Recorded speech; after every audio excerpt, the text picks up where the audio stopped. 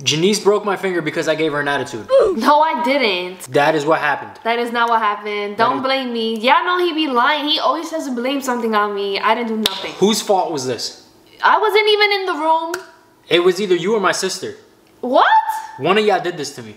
Uh-uh. Don't be blaming it on us. Nah, it wasn't nobody's fault. If anybody, nah, it was somebody's fault. It was your fault. No. Uh, if you want to get technical, it was your fault because you ain't even. You was the one who closed every single one Nah, of it, them. it was it was my fault 100%. What's going on, guys? If you guys are new to the channel, make sure you guys hit that subscribe button, and we're gonna get into the story of how I think I broke this finger because I haven't gone to the hospital. yeah. However, I cannot feel the tip of my finger, which leaves me to believe that it's broken. Did, do you have a picture of it? Did you take a picture of it? I'm gonna put pictures of you know everything that we're gonna be talking about. Um, I will let you guys know a disclaimer like a few seconds before if you guys are squeamish and stuff like that. Just because you know some people are squeamish. We'll do a warning. Yeah, yeah. So um, this is what happened the day of, which The was scenario. yeah, this was yesterday. So my sister has been staying with us for a couple of days. She's gone now. I just dropped her off at the airport this morning. But she was staying with us for about a week or so, maybe a little less than a week. And you know, I'm trying to think of things that she can do so she's not just bored at the house with us. So we end up taking the electric scooters that we have. And I'm like, you know what? Let's bring them to the beach and we can go look at like some million dollar mansions over there because who doesn't like to window shop? Everyone loves to window shop.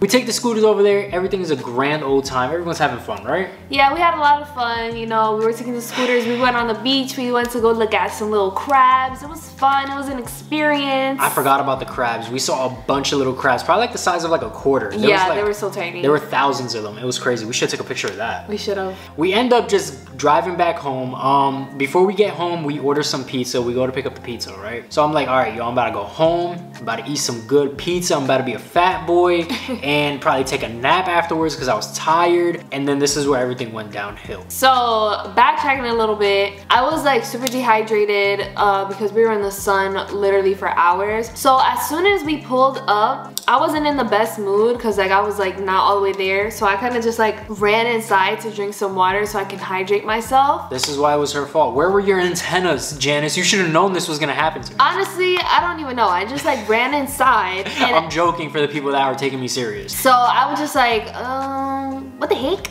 So we get home, right? And like she says, she goes in first inside to get like water or whatever the case is. Um, I'm holding the pizza as I'm coming out the car. And my sister is like, oh, you want me to hold the pizza or whatever? So I'm like, yeah, sure, here, take the pizza. And then I'm just gonna unload the scooters from the trunk of the car. And yeah, after that, I'm gonna go eat, eat some pizza, right? That was the plan. So I'm taking out the scooters. I take one scooter out, boom, there's three. I take the other scooter out, boom, that's two in the garage now. I take the last scooter out. Now this is where I'm gonna place the video so you guys can see exactly what I'm talking about. So the scooters, you can fold them in half, I guess, to basically make it easy to transport them, like carry them and whatnot. So they fold in half. Where the little, I guess, mechanism, folding mechanism, you know where that is, and again, the video will show it right here. Faultiness of the folding mechanism, well, not even that. It was kind of like where the handlebars latched to the base of the scooter was loose. So it wasn't even the folding mechanism. But I'm carrying the scooter and it unhooks itself from the handlebars and it's ready to snap into place. My finger just happened to be right inside, inside the folding mechanism because that's where I was carrying it like, you know, the dumb person that I am. And it basically just snapped open full throttle right on my finger. I immediately throw the scooter down, start cursing up a storm. I get very, very angry. I'm pacing back and forth on the front lawn. Janiece comes outside, she's freaking out, what's going on? She runs back inside, comes back outside again with a whole like first aid kit. Yeah, because I'm outside and like he had his grandfather's outside and his sister. His sister's just standing there looking on the floor. She froze up. with pizza and I look at her and I'm just like, what happened? She didn't say anything. I look at his grandfather, his grandfather's just chilling in, in the, like sitting in the trunk. And I look on the floor and there's blood everywhere. And then Isaiah's just like. I'm like gonna put this. pictures as well. There's like little blood drops. I got some of them out, some didn't come out though, but here are the Yeah. pictures of like the blood drops. Warning, you're gonna see little blood drops. Um, yeah, here's the pictures. Um, yeah, they're all over the garage. But yeah, continue. Yeah, and then he he's holding his pinky like this and he's like,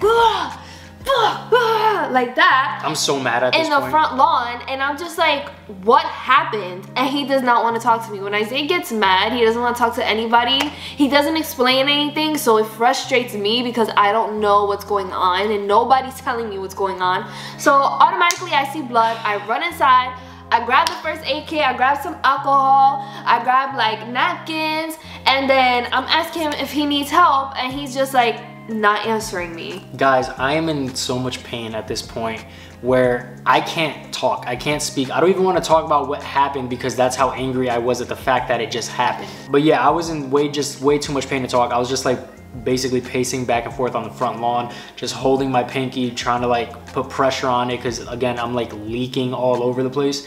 Um, but yeah, so it was just really, really bad. And then I end up like finally, because I ended up going to grab a rag from like my car wash stuff.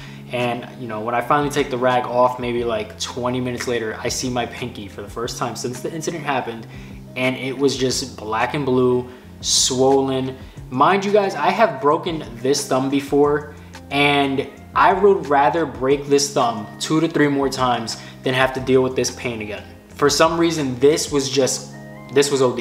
And this was not fun at all. Now for the people who want to see what it may look like, I'm gonna post a picture right here. So disclaimer, you guys are gonna see a really black and blue, yeah, black and blue pinky. Um, yeah, just a disclaimer and here it is. So yeah, that is what my pinky looks like right now. It is still swollen and I kid you not guys, this happened about maybe 12, not even 24 hours ago and it's still leaking. Yeah, literally. Which is why I still have it wrapped. Yeah, so that's pretty much everything that happened like throughout the rest of the day. Um, he got a little less mad and like he like keeps wrapping his finger so guys it was like throbbing like pulsating it was it hurt so freaking much like i can deal with pain and i was dealing with it yesterday but i i hate the feeling of like throbbing so yeah thank you for being a paramedic for me mm -hmm. really appreciate that love you um but yeah, I believe 100% that it's broken at the tip because one, I felt how it is to break a finger before I broke my thumb, like I said. And two, I cannot feel the tip of my finger. There's blood going through it and all that, so I know it's good and I can move it. However, I can't really feel the tip, so I feel like it's broken at the top. Because of that, I went and I got him a little Got me a splint. Yeah, it's called a splint. So I went ahead and got him that because I didn't know what else to do. Isaiah's not gonna go to the hospital. I knew he wasn't gonna go to the hospital. Hospital is not gonna do anything. They're literally gonna just put my finger in this. Yeah. You so, are the hospital. So period. I did what the hospital. You did it. I did what the hospital does, but yeah, I mean, he's okay now. Yeah, I mean, I don't know how I'm gonna wash my car. Yeah, it would happen on your dominant hand, right? Uh-huh. That's just like when I broke my thumb. It was my dominant hand. But at least he said that he doesn't drive with that hand. Like, you drive with the opposite I hand. don't. There's things I do lefty. It's weird. Like, I'll play basketball. Like, I'll dribble with my left. I'll play you know, we're not gonna get into it. So I just wanted to give you guys an update. If you guys see this in future videos, you guys don't be like, yo, what happened to his finger? It's missing. Yeah, so that is pretty much it for today's video. Please send your prayers of quick healing. yo, hashtag down below, prayers for Pinky. prayers for Pinky down below, yo. This is crazy. I can't believe I really, I feel like I broke it. This, this is wild. Yeah, so with all that being said, we love you, Infinite Fam, and we will catch you in the next video.